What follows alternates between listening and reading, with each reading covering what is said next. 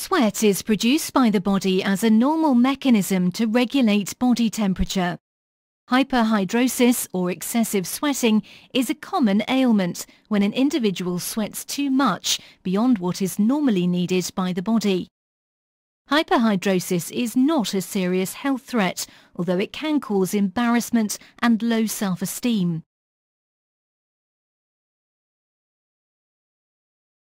Sweating normally occurs in different parts of the body.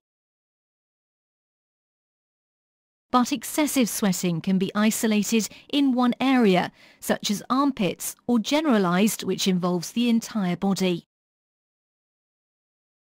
Hyperhidrosis has two types, which are primary focal hyperhidrosis and secondary generalized hyperhidrosis. Primary focal hyperhidrosis is idiopathic excessive sweating. It is neither caused as a side effect of a medication nor by another medical condition. Primary focal hyperhidrosis is usually symmetric in nature, which means that it occurs on both sides of the body. It can be hereditary. Secondary generalized hyperhidrosis is caused by another medical condition or is a side effect of medication. It is usually experienced on larger areas of the body and may be experienced even during sleeping. Use of antiperspirants is the simplest method to relieve hyperhidrosis.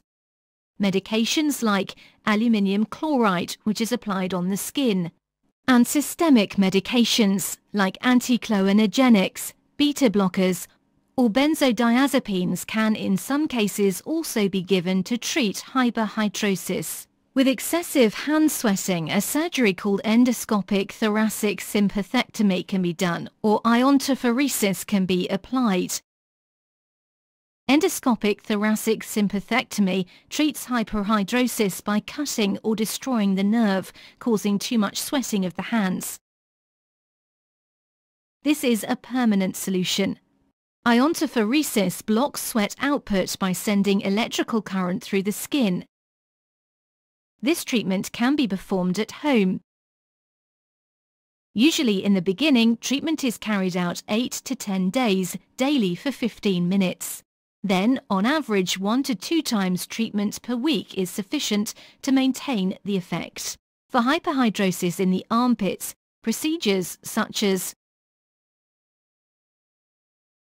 Axillary suction curettage and subdermal laser ablation of sweat glands, as well as administration of Botox injections, are available. Axillary suction curettage is a procedure where the sweat glands are removed. A positive result is permanent. With subdermal laser ablation, sweat glands found underneath the skin are destroyed using laser. This will also provide a permanent result. With Botox injection, a substance is injected that blocks the signals from the nerves that stimulate the sweat glands that produce sweat, causing the sweating to stop. Usually this stops sweating for about 4 to 6 months. Then the treatment should be repeated. Please contact your general practitioner for further information.